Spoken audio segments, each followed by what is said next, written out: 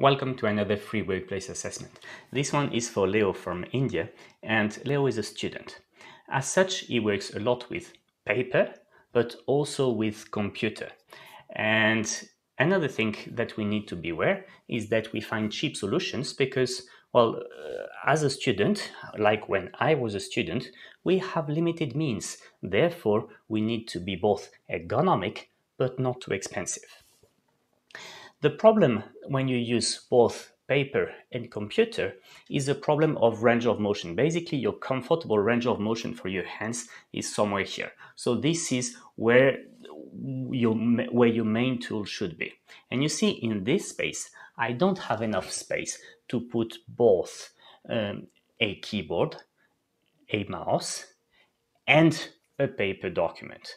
Therefore, I will have to prioritize. And you know, sometimes it's going to be complex because sometimes I really use things 50 50. But many other times I'm mainly on the paper or mainly on the computer. When Leo is only on the paper, my advice would be that he moves to the desk on the left. The reason for that is that you can uh, actually change this desk so as to limit the flexion of your neck, which uh, is a bit of a problem as soon as you need to, to, to, to write or read a lot. The way you're going to do that is either going to make a document holder either with a piece of wood or with a normal binder. Uh, that is going to be a document holder like you could find uh, in, a, in a proper shop. What you can also try is if you can tilt a bit the furniture towards you, provided that it stays stable and safe. When you work both on the laptop and on the paper, well, what you did on the right is the best solution. This setup here, where the paper is in front of the laptop, is the setup for when you only use basically the laptop as some kind of a control screen or as a reference tool, whilst what you do is mainly on paper. So you see, in this configuration, paper is your main tool.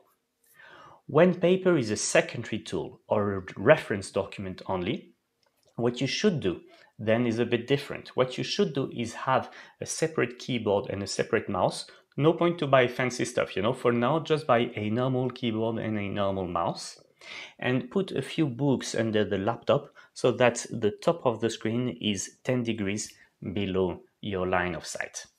The keyboard and the mouse will be right in front of you, hence there will be no, space, no space for the paper, and that paper should there be, therefore be to the side. Um, the side will be depending if, if you're uh, if you need to write or not, and if you're left-handed or uh, right-handed. I am left-handed, so for me it's quite handy because my mouse is on the right, and when I use pen and paper, it's on the left. So you know there's no conflict there. But right-handed people uh, are less lucky. Okay, this is for the, the, the, general layout.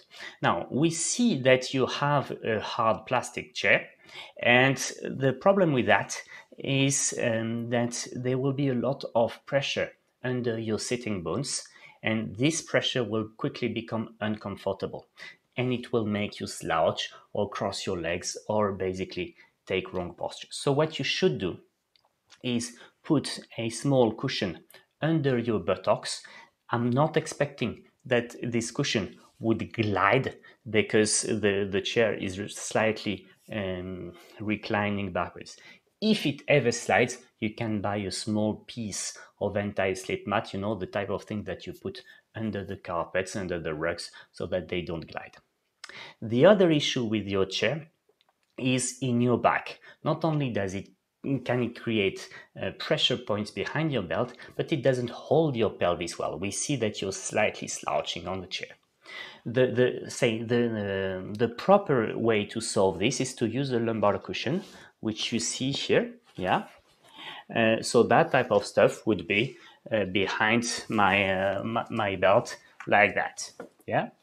Now, if you don't know where to find that, or if you don't have the budget to buy it, I don't know how expensive it is in India. you can just use a simple towel that you roll behind your back. Of course, the towel will not be stable, so every time you stand up or sit down, you need to readjust it, but I'm gonna keep it in my back you see at belt level until the end of this video to show you that it's perfectly okay to work like that.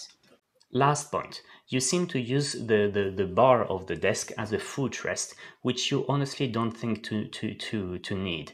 The reason why I think you don't need it is that your hip joint is actually less than 90 degrees now, which increases the pressure in the hip joint and makes you slouch. So my advice would be try and put your feet on the ground and if you feel that this is not comfortable for example because the uh, edge of the chair creates pressure under your thighs, well, just uh, use something less high than this wooden bar, such as one of the big science books that you that you surely have. Later, when uh, you have time, say for example after your exams, you can try and remove this bar.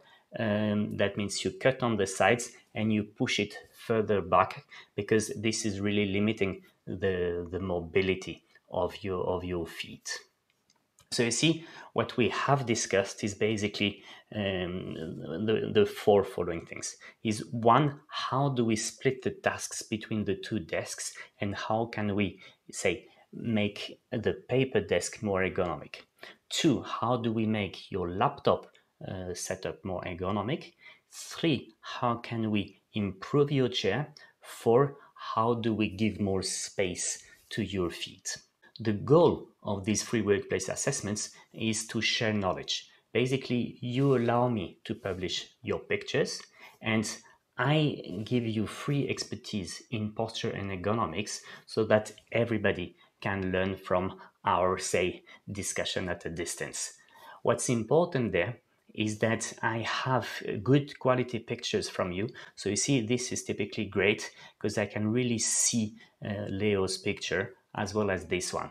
So don't send me two dark pictures and send me pictures in which I can see your whole uh, your whole body.